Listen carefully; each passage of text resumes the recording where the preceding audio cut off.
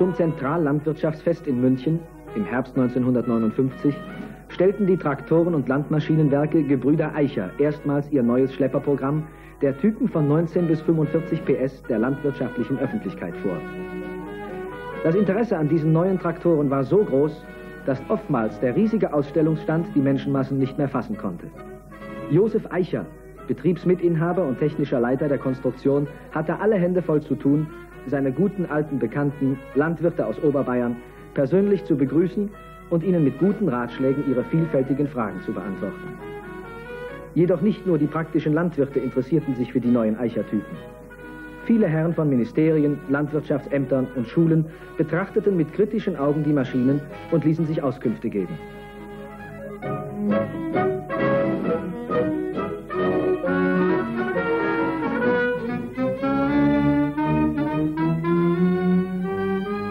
Sie sollen nun die Schlepper des neuen Programmes im praktischen Einsatz sehen und kennenlernen. Es sind dies der Eicher Panther mit 19 PS starkem, spezial luftgekühltem Zweizylinder Eichermotor. Der Eicher Tiger mit 25 PS, der kraftvolle Schlepper des mittleren landwirtschaftlichen Betriebes, der ideale Schlepper in der 20 bis 30 PS Klasse, ebenfalls mit spezial luftgekühltem Zweizylinder Eichermotor, der dank seiner besonderen konstruktiven Auslegung enorme Kraftreserven besitzt und daher überdurchschnittliche Leistungen vollbringt. Der Eicher Königstiger mit dem 35 PS starken, spezial luftgekühlten Dreizylinder Eichermotor ist der leistungsgünstige Schlepper der 30 bis 40 PS Klasse und besonders für den größeren Betrieb geeignet. Und als größter Schlepper dieser Reihe der Eicher Mammut mit 45 PS. Mit seinen großen Kraftreserven liegt er im günstigen Leistungsbereich der Klasse von 40 bis 50 PS und bringt alle Voraussetzungen für den Vollerntebetrieb mit sich.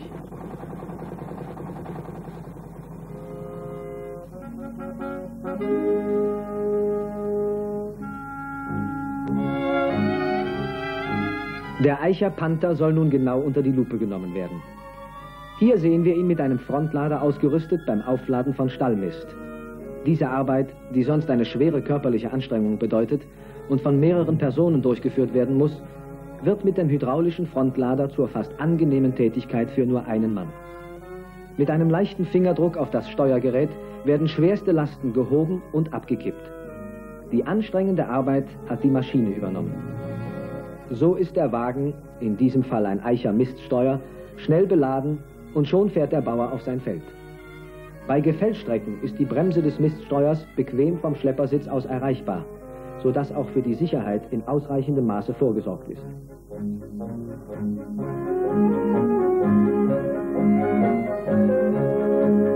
Durch die günstige Lage der Miststeuerachse liegt ein Teil der Ladung auf der Schlepperhinterachse, was die Zugleistung beachtlich erhöht. Der Antrieb des Miststeuers erfolgt von der Zapfwelle des Schleppers, dessen starker Motor diese Arbeit mühelos bewältigt. Auch hier ersetzt die Maschine viel Muskelkraft und Schweiß. So hat man es früher gemacht und das Gleiche gilt auch heute noch vielerorts. Aber es ist eine mühselige Sache. Zuerst abladen mit dem Misthaken bei ständigem Vorrücken, dann das Verteilen des Mistes von Hand mit unzähligen Schüttelbewegungen der Mistgabel, das ist unnötige Kraftvergeudung, die man besser für was anderes aufspart. Ja, der Nachbar hat es richtig erfasst. Für ihn ist das alles nur noch ein Kinderspiel. Denn seine Arbeit wird hauptsächlich von der Maschine geleistet. Der Eicher Miststreuer ist ein sogenannter Breitstreuer. Durch seine senkrecht angeordneten Streuwalzen wird der Mist bis fünf Meter nach hinten und der Seite weggeschleudert und dabei gleichmäßig verteilt. Die Höhe der Walzen von 80 cm erlaubt außerdem eine große Ladehöhe und damit die restlose Gewichtsausnutzung des Wagens bis 3,2 Tonnen. Die zu verteilende Mistmenge lässt sich vom Schleppersitz aus durch Verstellung der Vorschubgeschwindigkeit regulieren, wobei die Abladezeit des Wagens zwischen 2 und 12 Minuten beträgt. Das entspricht einer Mistmenge von 50 bis 400 Doppelzentner je Hektar. Selbstverständlich muss man den Miststeuer nach jeder Streuperiode reinigen, da sonst der Mist zu stark vertrocknet. Mit einem kräftigen Wasserstrahl erreicht man schon viel.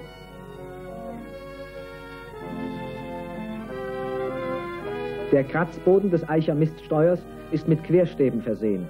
deren Profil nach unten scharfkantig zum sauberen Abkratzen des Mistes ist. Nach oben sind sie jedoch abgerundet für empfindliches Ladegut, wie zum Beispiel Kartoffeln. Der Miststreuer soll natürlich auch für andere Zwecke verwendet werden. Deshalb muss der Abbau des Streuwerkes denkbar einfach sein und auch von einem Mann durchgeführt werden können. Zuerst wird der obere Lagerrahmen abgehoben, dann werden nacheinander die einzelnen Streuwalzen abgenommen und schon ist der Miststreuer als Universalwagen einsetzbar.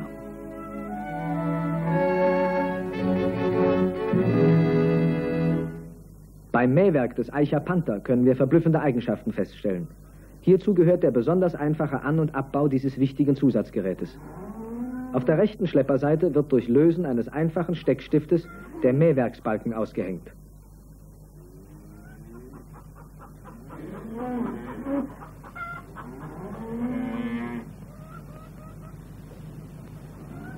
Auf der anderen Seite wird nun die Antriebswelle, eine einfache Teleskopsteckhülse, vom Antriebsstummel abgezogen,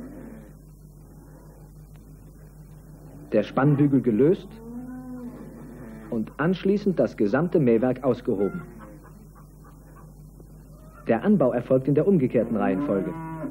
Einhängen des Tragrahmens, Spannbügel spannen, mit Splint absichern und die mit Federsicherung versehene Antriebswelle wieder aufstecken.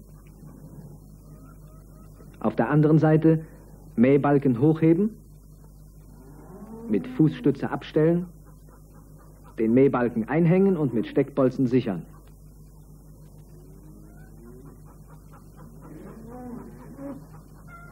Nun wird noch die Fahrtsicherung befestigt und der Schlepper ist einsatzbereit.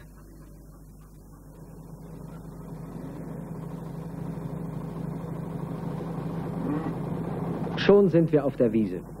Der Fingerschutz wird abgenommen, die Fahrtsicherung gelöst, alles ohne Werkzeug.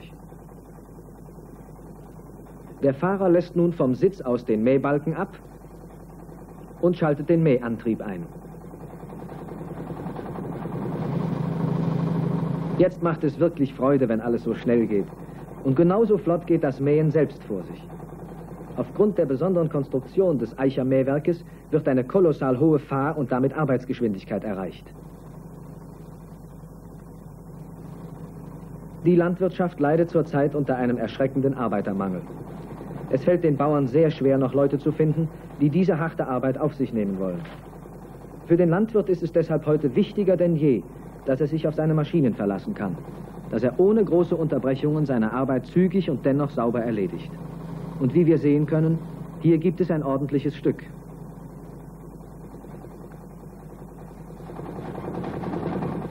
Das Gras ist gemäht und soll nun als Silofutter eingebracht werden. Eine zweckmäßige Lösung ist das Aufladen mit dem Eicher Schneidlader, der von der Zapfwelle des Eicher Panther angetrieben wird. Auch am Hang und bei Kurvenfahrt leistet diese Maschine eine zufriedenstellende Arbeit. Der Rechen nimmt aus der Grasnarbe sehr sauber auf. Das Ladegut wird geschnitten und mit einem Gebläse auf den Wagen befördert, der zweckmäßigerweise mit einem Häckselaufsatz eingemacht ist. Durch diese Kombination wird viel Zeit eingespart.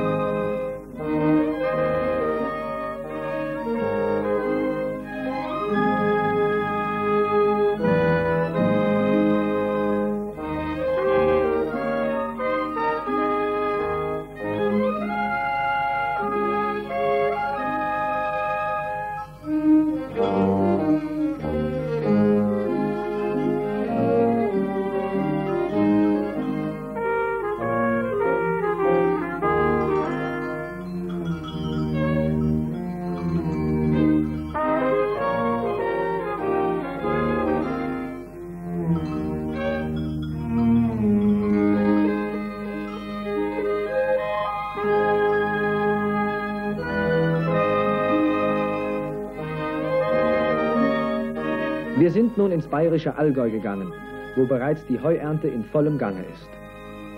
Durch die zum Teil steilen Hanglagen haben es die dortigen Bauern nicht immer leicht. Sie müssen oft auf den Einsatz von Maschinen verzichten und zum Beispiel wie hier die Aufladearbeit von Hand durchführen. Dann ist es allerdings gut, wenn ein Schlepper vorhanden ist, der eine tiefe Schwerpunktlage besitzt und deshalb am Hang weniger leicht umkippen kann. Diese Forderung erfüllt in vorbildlicher Weise der Eicher Panther. Gleichzeitig besitzt der Panther auch enorme Zugeigenschaften. Steile Wege sind für ihn kein Hindernis. Die Verteilung des Gewichtes ist bei ihm so bemessen, dass immer genügend Kraft auf den Boden kommt, ohne dass die Räder durchrutschen. So zieht der Eicher Panther treu und brav Fuhre auf Fuhre in die heimatliche Scheune, damit das Vieh im Winter genügend zu fressen hat.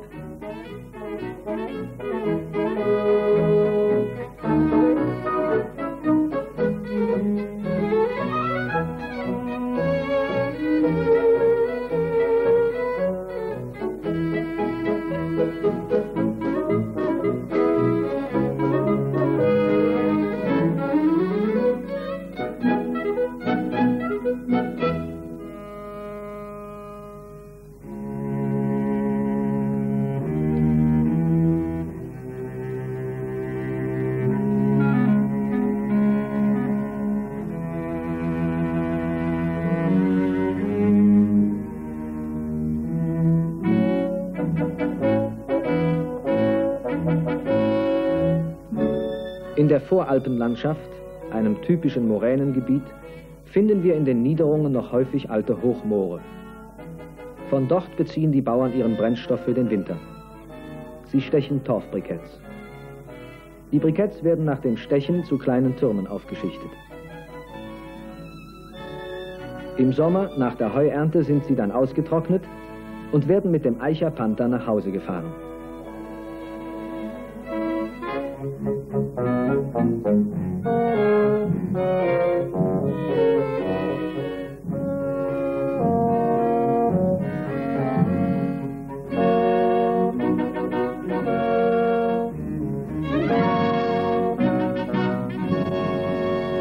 Nächstgrößere Schlepper der neuen Eicher-Baureihe ist der Eicher Tiger, mit dem wir uns jetzt näher befassen wollen.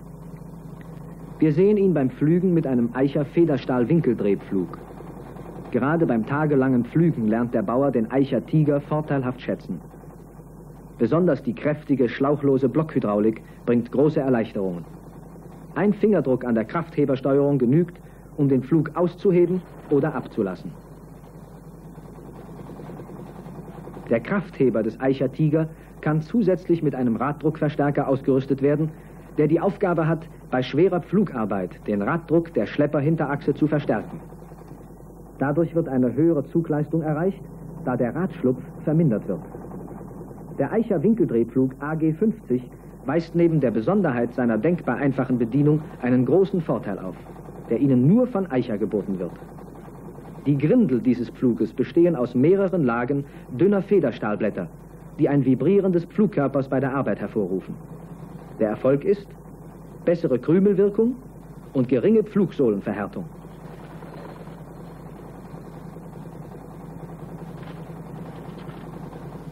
Schon sind wir mittendrin in den Vorbereitungen zur Aussaat. Die Sämaschine wird abgedreht, um die Menge der Saatfrucht zu bestimmen.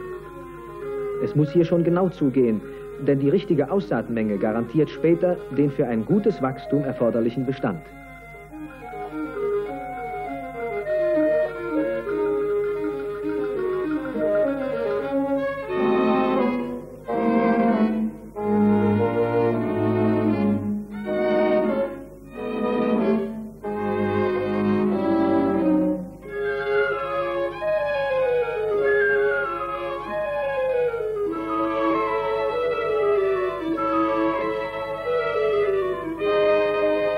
Felde lässt sich nun beobachten, wie flott die Arbeit mit dem Eicher Tiger vor sich geht.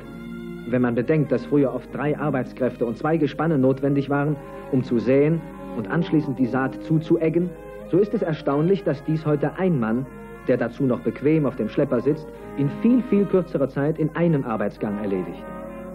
Durch die hohe Fahrgeschwindigkeit wird der Bodendruck des Schleppers wesentlich herabgesetzt. Man braucht heute keine Angst mehr zu haben, mit dem Schlepper zum Säen auf den Acker zu fahren. Bei manchen Böden steht die Frucht in der Radspur sogar besser. Vor dem Auslegen der Kartoffeln wird noch einmal Mist gefahren. Auch der Eicher Tiger kann mit einem preiswerten Frontlader ausgerüstet werden. Und gerade beim Frontladereinsatz erweist sich die günstige Getriebeanordnung des Tiger mit acht Vorwärts- und vier Rückwärtsgängen besonders vorteilhaft. Der finanzielle Gewinn im modern bewirtschafteten Betrieb liegt heute hauptsächlich in der Einsparung von Zeit, wozu diese Kombination in hohem Maße beiträgt.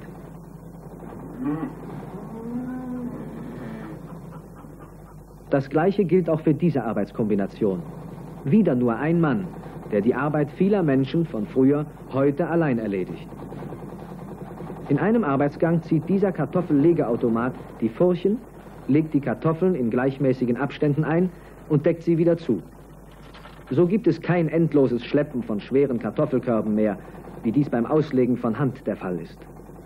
Die Maschine hat beschwerliche Handarbeit übernommen. Wir wollen nun auch beim Eicher Tiger den Anbau des Mähwerkes beobachten. Der Schlepper ist seitlich an das liegende Mähwerk herangefahren. Der Fahrer schiebt nun das Mähwerk unter dem Bauch des Schleppers durch. Eine glatte Bodenfläche erleichtert dies sehr. Die Kurbelstange wird auf die Kurbelwelle, die ihren Antrieb vom Getriebe her erhält, aufgesteckt. Der Mähwerksrahmen wird nun eingehängt und mit einem Bügel abgesichert. Auf der anderen Seite folgt nun das Einhängen des Mähwerks in den Hubzylinder und das hydraulische Hochheben des Mähbalkens. Das Ganze dauert kaum zwei Minuten und schon sind wir auf der Fahrt zur Arbeit.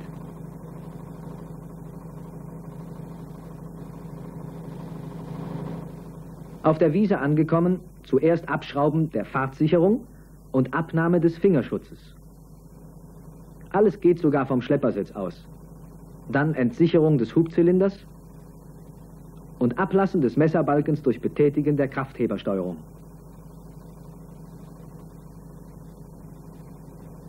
Vor Beginn der Arbeit noch schnell eine Zigarette mit dem Feuer aus dem serienmäßig eingebauten Zigarettenanzünder. Ja, das nennt man Eicher Fahrkomfort. Nun wird der Mähantrieb eingeschaltet und der Messerbalken auf Schwarzstellung eingerichtet.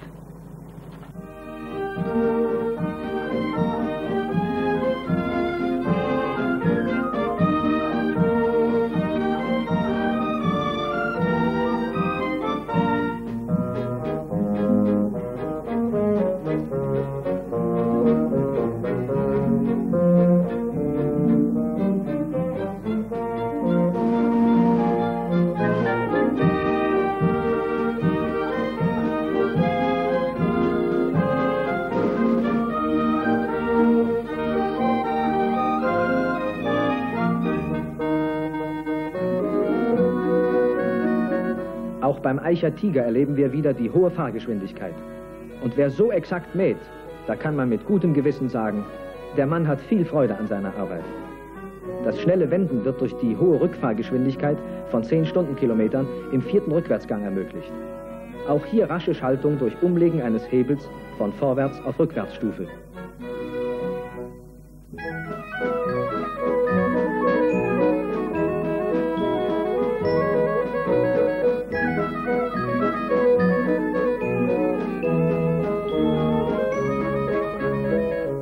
Sowas. Jetzt hat es nicht ganz geklappt. Aber das macht nichts. Schnell eine kleine Korrektur und weiter geht's. Überraschend ist die große Hangsicherheit des Eicher Tiger, selbst beim Mähen hangabwärts. Das kommt von der extrem tiefen Schwerpunktlage dieses Schleppers, der trotzdem noch eine große Bodenfreiheit von 35 cm hat, da keine vorstehenden Teile unter dem Schlepperbauch den freien Durchschlupf behindern. Ja, die Nachbarn stehen und staunen. Das hätten sie nicht für möglich gehalten, dass diese steile Wiese noch mit dem Schlepper gemäht werden kann. Doch souverän meistert der Eicher Tiger diese Schwierigkeiten.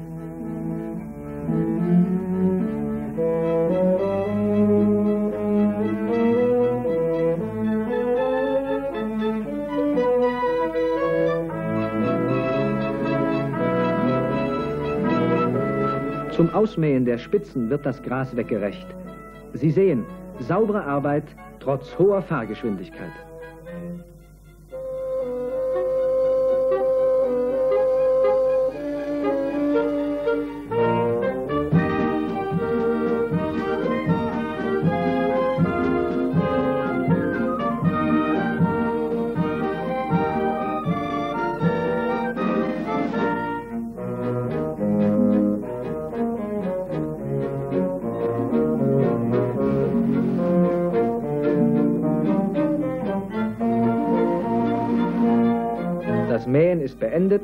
Das Mähwerk wird vorerst auf diesem Hof nicht gebraucht. Da sich das Mähwerk vom Eicher Tiger genauso leicht und fast ohne Werkzeug abbauen lässt wie anbauen, wird es für die nächsten paar Wochen zur Seite gelegt und erst wieder hervorgeholt, wenn die Zeit dafür da ist.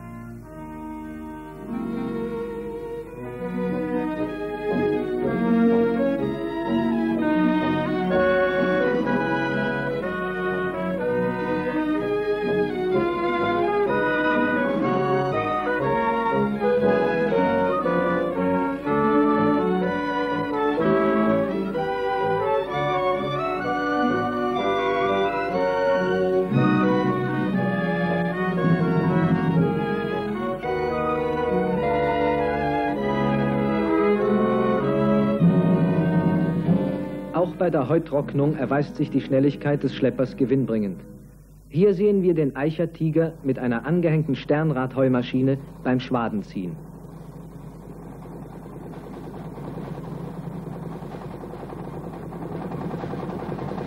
Eine andere Lösung, die fast noch günstiger sein dürfte, sehen wir auf diesem Bild. Hier ist die Sternradheumaschine vorn am Schlepper angebaut. Der Eicher Tiger besitzt die sogenannte Frontporta, eine Einrichtung, für den günstigen Anbau von Frontgeräten. Die betreffende Maschine wird lediglich mit ihren Steckrohren in die Tragrohre des Schleppers eingeführt und festgespannt.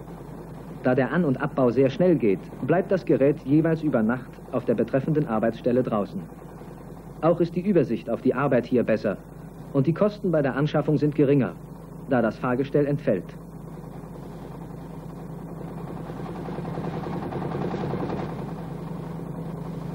In der Zwischenzeit sind auch schon die Rüben so weit, dass wieder eine Hacke durchgeführt werden muss. Für den Schlepperbauern, der auch mit den entsprechenden Geräten ausgerüstet ist, ist dies alles kein Problem. Hier wird mit dem am Kraftheber des Tiger angebauten Dreipunkt-Rau-Kombi-Gerät gearbeitet. Einem idealen System mit den verschiedensten Kombinationsmöglichkeiten. Für die Rübenhacke wird allerdings ein Feinsteuermann benötigt, der aufpasst, dass die Hackschare richtig in der Reihe laufen. Besonders derjenige Bauer weiß heute die Schnelligkeit der Hackarbeit mit dem Schlepper zu schätzen, der früher dem schnellen Unkrautwachstum nicht nachgekommen ist und sozusagen darin stecken blieb. Das kann ihm heute nicht mehr passieren. Am Vormittag wurden die Rüben gehackt, am Nachmittag sehen wir ihn schon beim Kartoffelhäufeln auf dem Acker nebenan. Es waren keine großen Umbauten notwendig, lediglich die Hackschare wurden gegen Häufelkörper ausgewechselt. Es ginge hier sogar ohne Feinsteuermann, aber wer einen jungen Burschen hat, kann ihn ruhig draufsetzen.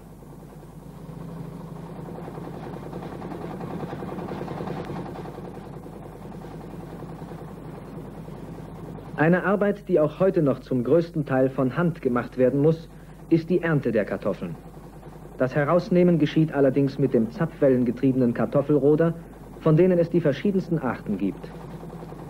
Der mittlere Betrieb kann sich eben meistens noch keine Vollerntemaschine leisten und so muss halt die ganze Familie mithelfen beim Aufsammeln nach dem alten Motto Einigkeit macht stark.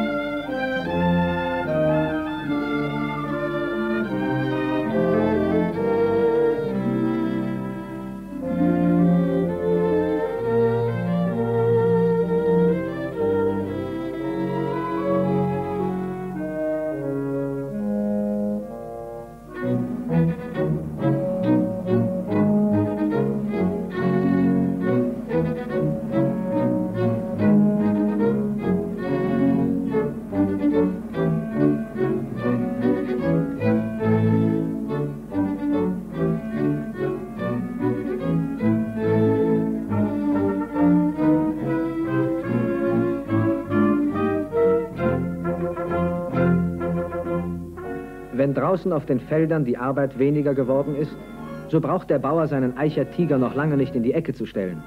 Denn jetzt beginnt für ihn die Zeit der Nebeneinnahmen. Mit seinem Frontlader kann er auf Baustellen Erdbewegungsarbeiten verrichten oder aber in der Kiesgrube Schotter aufladen für die Wegausbesserungen. Diese Nebeneinnahmen sind bestens dafür geeignet, seinen übrigen Maschinenpark neu aufzufrischen oder zu ergänzen.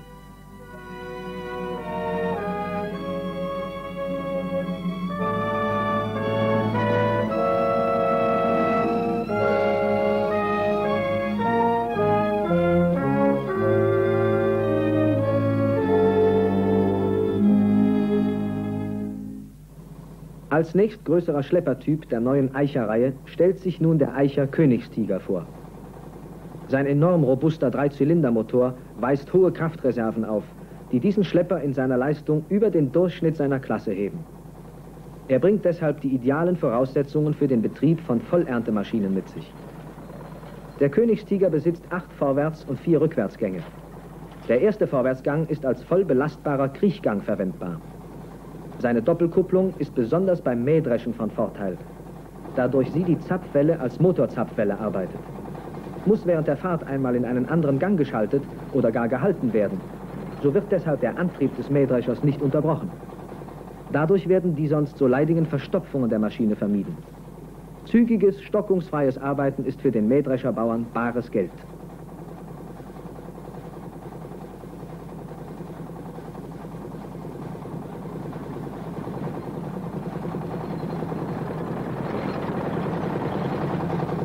Auch beim Pflügen zeigt der Königstiger seine hervorragenden Eigenschaften, wie Schnelligkeit, gute Wendigkeit und beste Zugleistung. Die gute Arbeitsqualität wird jedoch hauptsächlich durch die speziellen Eigenschaften der Eicher Federstahlpflüge erreicht. Es ist immer ein Vorteil, wenn Schlepper und Gerät aus einer Fabrik bezogen werden können. Denn hier hat man die Gewissheit, dass beide Maschinen bestens aufeinander abgestimmt sind. Eicher Schlepper und Eicher Pflug bilden ein Gespann aus einem Guss. Das gleiche gilt für den Eicher Rekordkrümler, der in Arbeitsbreiten von 1,60 Meter und 2 Meter geliefert wird. Bei diesen Flug- und Krümleraufnahmen handelt es sich um Versuchseinsätze, die auf dem Erprobungsgelände der Eicherwerke durchgeführt und in welchen Schlepper und Gerät auf Herz und Nieren geprüft werden. Hier müssen die Maschinen erst beweisen, ob sie den harten Anforderungen der rauen landwirtschaftlichen Praxis gewachsen sind. Erst dann werden sie dem Verkauf freigegeben.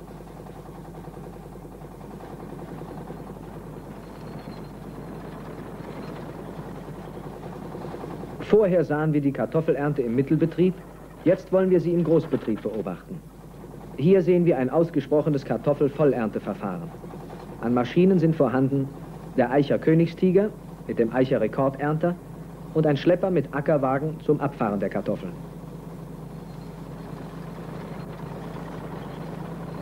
Die Dämme werden mit einem rüttelnden Schar aufgenommen. Erdreich und Kartoffeln laufen über mehrere Stabbänder und Rüttelsiebe wobei das Erdreich auf den Boden zurückfällt, zum Verlesetisch, auf welchem Steine und Kluten von den Kartoffeln getrennt werden. Von dort werden sie mit einem Förderband auf den nebenher fahrenden Wagen transportiert. Ein anderes Arbeitsverfahren ist mit dem Eicher Rekordernter mit Bunkeraufbau möglich. Hier entfällt das zweite nebenher fahrende Gespann, da die Kartoffeln direkt in den auf dem Vollernter aufgebauten Bunker geladen werden. Dadurch werden noch weniger Leute benötigt, und die Arbeit ist noch mehr rationalisiert. Am Ackerende werden dann die Kartoffeln auf bereitstehende Wagen umgeladen.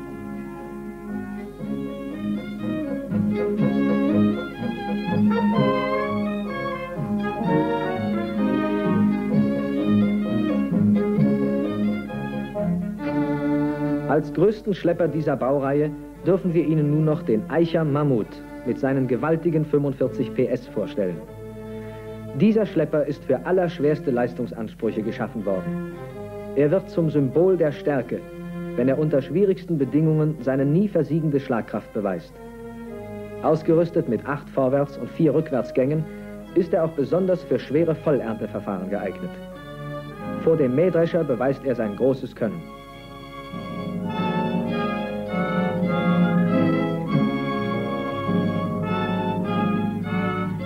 Ganzen Vollernteverfahren sind heute darauf abgestimmt, dass so wenig Leute wie nur möglich zur Bedienung erforderlich sind.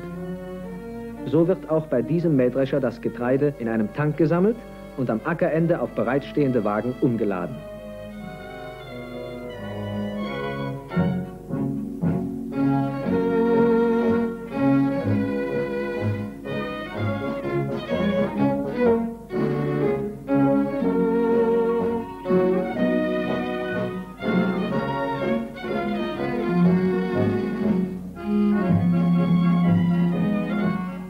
Interessante Arbeitsvereinfachung hat sich ein Bauer ausgedacht, der einen Eicher Geräteträger besitzt. Er hat die kippbare Ladebrücke mit einem Aufsatz versehen, um darin das Getreide zu transportieren. Der Geräteträger fährt seitlich an den arbeitenden Mähdrescher heran. Der Schlepperfahrer setzt nun vom Fahrersitz aus den Schneckenelevator des Korntankes in Bewegung. Der Tank entleert sich auf den nebenher fahrenden Geräteträger. Das alles ohne anzuhalten. Schneller kann es nun wirklich nicht mehr gehen. Das ist ein perfektionierter Maschineneinsatz, eine restlose Ausnutzung der vorhandenen Möglichkeiten, wie sie jeder Betrieb sich zu eigen machen sollte und wozu Ihnen die Firma Eicher immer helfen wird.